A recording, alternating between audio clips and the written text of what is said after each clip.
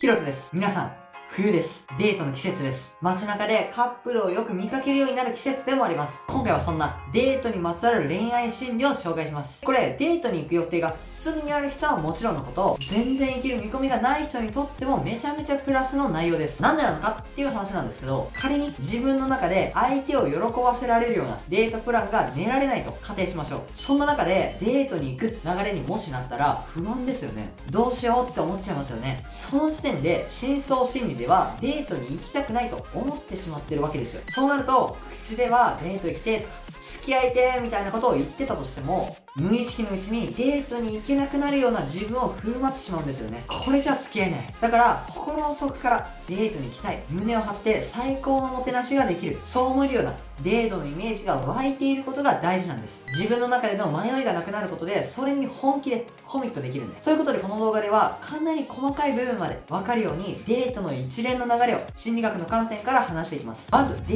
ートに下見は必要なのか。そして、〇〇な心持ちでデートに挑むと良い。それから、ベストなデート時間。最強のデート場所。デート中の会話は〇〇と三角三角を9対1の割合でする。おすすめのデートの終わらせ方。最後に持ち歩いてるだけでデートが最高になるような持ち物を紹介して、この動画を終わりにします。ぜひ今日の内容すべて頭に入れて持ち帰ってもらえたらと思います。では早速本題に入っていきます。下見についてからです。まあ、デートプランを練った後にデートに行く前にその場所に行ってみるかどうかということですね。ズバリ結論から話すと、下見は絶対1回は行きましょう。まあなんでなのかっていうと、恋愛ってとにかく不確定要素が多いんですよ。さらにデートってなると、もう予期せぬことがたくさん起きます。人ってやっぱり予定外のこと、予想外のことが起こると、普段の自分を演出できなくなってしまいます。これがデート中に会話がなくなったり、緊張してしまってうまく振る舞えない原因です。なので、まあ、どれだけ準備していても、この予期せぬことをゼロにすることはできないんですけど、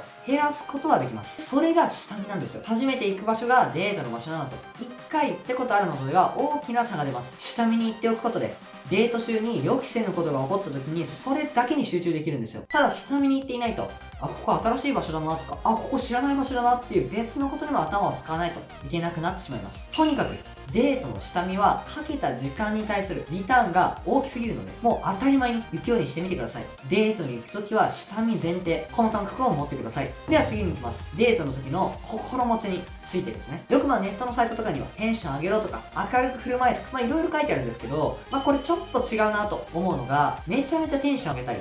明るく振る舞っても、相手のテンションが低かったら、逆にギャップができてしまって、ちょっとこの人とは接しづらいな、この後の流れが想像できないなっていう風に思わせてしまいます。シンプルに、ちょっと自分とは違う人だと思われてしまうわけですよ。これは恋愛においてはマイナスでしかありません。なので、まずは明るく振る舞うとか、テンションを上げる以前に、相手の気持ち、相手のテンション、雰囲気に合わせるというのをデートでは徹底してください。余裕があったら完璧に合わせられた後に、1段階だけ雰囲気を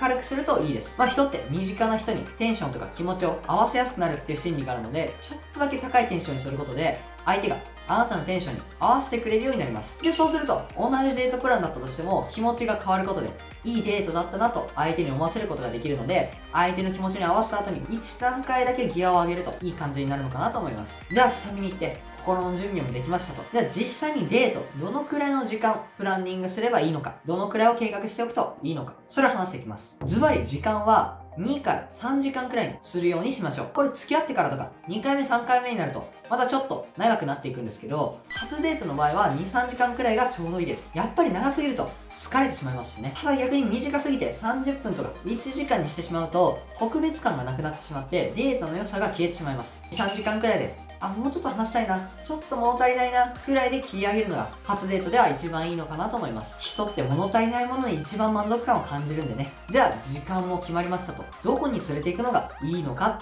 っていうことなんですけど、これも結論から話すと、一番無難で一番最強なのは、やはり飲食店デートです。まあ飲食店って無難ですし、重すぎず軽すぎないんですよね。そして誘う時も、食べ物、好きな食べ物の話から、うまく、違和感なく誘うことができる場所でもあります。水族館とかもね、楽しいとは思うんですけど、誘うのちょっと大変ですよね。まああとは好きなアニメの話とか、ドラマの話から映画に連れて行くのもいいのかなとは思うんですけど、映画って基本無音じゃないですか。それに対して飲食店デートであれば、沈黙と喋る会話のバランスが取りやすいです。相手と打ち解けるのにすごく向いています。なので、迷ったら飲食店デート、僕はお勧めしておきます。で、ここでちょっとテクニックなんですけど、どこの飲食店連れて行くのがいいのかっていう話をします。もちろん大前提、相手が食べたいもの、相手が好きな場所に連れて行くのがいいんですけど、その中でもさらにカップルスポットを素通りできる場所、もしくはカップルがいっぱい見えるようなレストランにするといいです。こうすると、無意識のうちに相手の恋愛スイッチを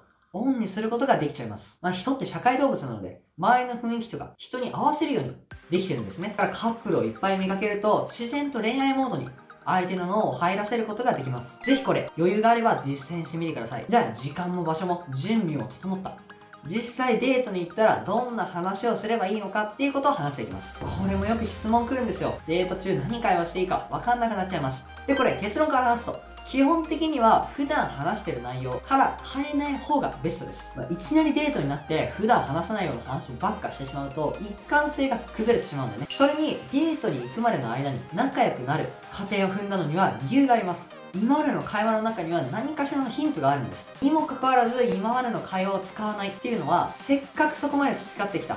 仲良くなる会話を使わないってことになるのでもったいないんですよ。だからデート中も9割は普段通りの会話、いつもの会話を心がけるようにしましょう。その上で余裕があれば特別な場を借りてちょっと踏み込んだ話をするようにしましょう。こうすると次のデートだったり、付き合うっていうところにも繋げやすくなります。ぜひ、普段通りの会話9、ちょっと踏み込んだ話1割くらいの割合で会話を展開するようにしてみてください。ここまでいけたらもうあとは終わりだけです。終わり良ければ全てよしと言われるくらいどういう終わり方をするかで、そのデートの評価が決まってしまうと言っても過言ではありません。せっかくここまで最高のデートを作り上げることができているので、いい終わり方をしましょう。ちなみにこの終わりが大事というのは、心理学用語でもピークエンドの法則と言われています。ピークエンドの法則をうまく駆使したデートの終わらせ方。それは、小さなプレゼントをデート終わりに渡すことです。本当に飴玉一つとか、そのぐらいでも全然いいです。心理学の実験でも、こういった小さなプレゼントをちょっと渡すだけで、相手からの好感度が上がったっていう調査もあります。なので、プレゼントを渡して、相手からの好感度を上げた状態で、デート終わらせるようにしてみてください。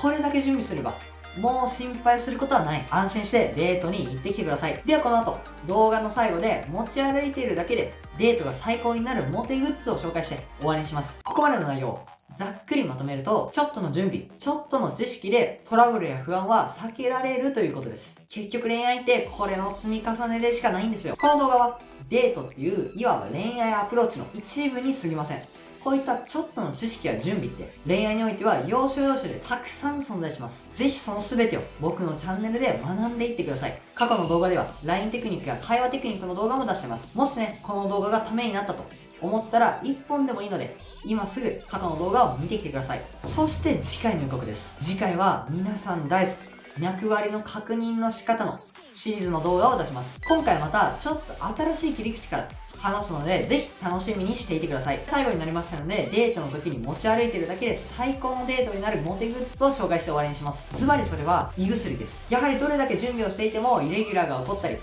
きな人との会話のプレッシャーからお腹が痛くなってしまうことがあります。こうなるとデートに集中できなくなったり、他のあらゆることに対応できなくなってしまうので、そんな時に胃薬があると、これを治せるのでおすすめです。さらにこういったプレッシャーからの胃痛って、あ、最悪お腹痛くなっても胃薬あるから大丈夫だと思えるだけで、意外とお腹痛くならなくなったりするんですよね。大丈夫だと思えることが余裕につながって、それがプラスの連鎖を起こしてくれるわけです。ということで、これで最高の恋を掴んでください。いい報告待ってます。それでは、また次の動画で会いましょう。